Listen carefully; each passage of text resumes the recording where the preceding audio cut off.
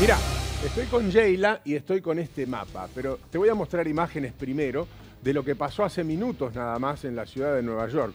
Esto que pasó en Nueva York obligó a la suspensión de un recital muy importante que se estaba llevando adelante en la ciudad, que era el We Love New York City, que se canceló dos horas antes del final por esta amenaza del huracán Henry. La colita del huracán llegó a Nueva York y generó estas inundaciones y esta lluvia desproporcionada. Por culpa de esta situación, la gente que estaba en el Central Park esperando los recitales de Bruce Springsteen, Patti Smith y Paul Simon se tuvo que ir corriendo y se suspendió el final del recital. Eh, aquí está con nosotros Sheila, aquí tenemos el mapa y enseguida vamos a hablar con Mauricio Zabalza que está en vivo desde Nueva York. Correcto, Guille, vemos a Henry como se quedó estancado, sí, ahí nomás en el noreste de los Estados Unidos, afectando principalmente, como bien has dicho, a Nueva York, puede también afectar a Carolina del Norte, Carolina del Sur. Está dentro del pronóstico. Tiene muchísimos vientos, vientos que soplan con intensidades de 120 kilómetros por hora y las ráfagas que son superiores, ¿no? Y vemos la gran cantidad de agua, si podemos poner el puntero por acá para que veamos el nivel de precipitaciones, el acumulado que tiene, que es significativo. Exactamente. 29 en la parte más oscura, si podemos poner 30 milímetros, 33 milímetros de agua caída en cortos periodos de tiempo que, bueno, claramente decantó en esas, en esas inundaciones que estábamos viendo en imágenes también. Hace 30 años, Guille, que el noreste de los Estados Unidos no vive una situación como esta. Un huracán categoría 1 que el día de ayer ascendió a huracán, debemos decir que era una tormenta tropical, justamente por la intensidad de sus vientos y por las grandes precipitaciones que estaba teniendo, ascendió a categoría 1 y bueno, se prevé que finalmente afecte, como bien estábamos diciendo, a Nueva York dejando eh, además de inundaciones, cortes eléctricos también y bueno, la suspensión de este recital, ¿no? Mauricio Zabalza, te quedaste sin el final del recital, pero bueno, por lo menos nos podés mostrar qué quedó de todo esto. ¿Cómo estás? ¿Cómo va? Buenos días. Sí, ahora estoy resguardado, mira, eh, pero alcancé a ver a Journey, a, Carlos Santana, por ejemplo, a ah, Andrea Bocelli, que hizo una presentación magnífica. Sí, y aparte era totalmente gratis. Como, como no, no se pagó, había que retirar los boletos, pero eran gratis.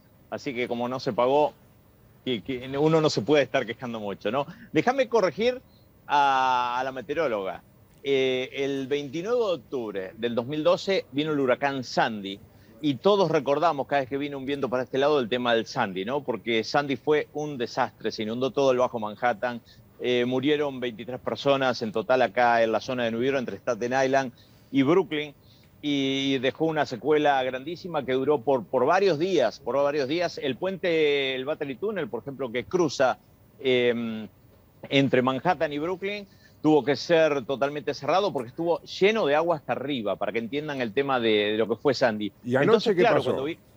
Cuando, viene un viento exactamente o, hay anuncios de viento, la gente se asusta ¿no? y se empieza a preparar. Lo cierto es que que el huracán pasó muy por el costado, recién tocó la punta de Long Island y se va para el lado de Boston y para el lado del noroeste. Así que acá solamente tuvimos un poco de lluvia, sigue lloviendo, de hecho estaba al aire libre, me resguardé en un techito eh, y, sigue lloviendo, pero no va a ser más que eso, ¿no? Al menos en New York City. Va para el lado de, pasó por Connecticut, va para el lado de Boston y se va para el lado de Nueva Escocia, este huracán bordeando la costa. Así que dentro de todos eh, la pasamos bastante bien. ¿No? Fue una lluvia torrencial que obligó a la suspensión del recital, básicamente. Ahí vemos algunas calles anegadas y los problemas lógicos de cuando cae mucho agua en poco tiempo. Sí, sí, claro. Sí, había, anuncios en los teléfonos, enseguida salen las alertas Amber y las alertas de, lo que puede ser el, weather acá, el tiempo, y decían que iba a haber inundaciones, y, bueno, finalmente no fue para tanto, esa es la verdad. Claro que, bueno, estaba este concierto, que era el concierto de volver a empezar, ¿no? Volver a empezar cuando está recrudeciendo la variante Delta, por ahí no tanto en Nueva York, pero sí en el sur del país, y realmente con un resultado incierto, teniendo en cuenta que solamente el 50% del país se vacunó, ¿no? Lo que es el destino, ¿no? Porque estaba eh, el recital haciendo una apertura o sirviendo de apertura para el reencuentro de los neoyorquinos en el Central Park y bueno, esta lluvia de alguna manera este, terminó con el festejo. Y, te cuento algo, Guille, esto iba a ser eh, totalmente abierto para todo el mundo y terminó siendo un concierto para vacunados solamente, que uno mostrando el carnet de vacunación ah, o, la o el pasaporte sanitario Excelsior, que ya está funcionando desde hace varios días, uno podía entrar, si no, no había caso. Tampoco se puede entrar ni a restaurantes, ni a gimnasios, ni a ningún evento cerrado si uno no tiene el pasaporte de que fue eh, vacunado con la segunda dosis. Volviendo al tema del huracán, hubo evacuados, se hablaba de 300.000 personas, pero bueno, vos podrías actualizarnos esta cifra, ¿no? Sí, los evacuados eh, básicamente fueron no tanto del lado de New York porque el huracán ya a la tarde había doblado. Eso es lo que pasa con los huracanes, ¿no? A ver, no soy ningún experto en, meteorología, pero, pero los huracanes a veces tocan tierra y, como que la tierra los rechaza y se van por el mar, se debilitan, exactamente. Y fue para Conérico, y en Conérico sí pega de, frente, también pega de frente en Boston, y en bastantes zonas costeras están evacuando gente, obviamente que eso se hace, eso yo lo vi en, en Sandy acá, va a la Guardia Nacional y te dice, hay que salir, sí o sí, ¿no?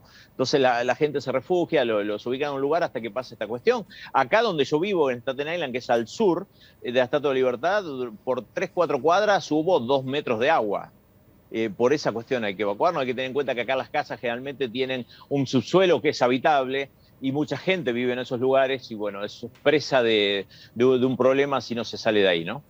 La cuestión entonces es que ahora quedó una lluvia, casi que un remanente te podría decir. Se ve que está nublado detrás tuyo, te pusiste abajo del techito y te quedaste sin Patti Smith, que es lo que más lamento de todo esto. ¿no? Pero estuvo en Buenos Aires, estuvo en Buenos Aires no sé tanto. Sí, es verdad.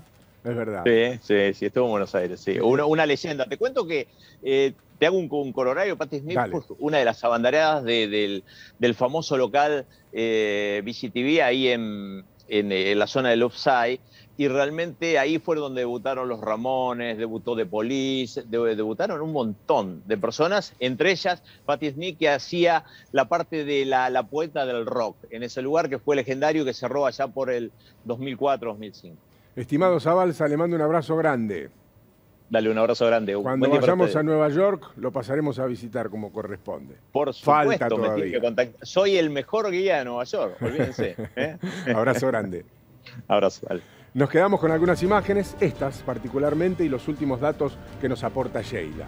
Claro que sí, Guille. Bueno, vemos las imágenes, volvemos a reiterar un huracán de categoría 1. Henry es eh, el, séptimo, el séptimo sistema tropical que afecta a los Estados Unidos con vientos de hasta 120 kilómetros por hora y al menos 300.000 personas se vieron afectadas en cuanto al suministro eléctrico debido a la gran cantidad de precipitaciones.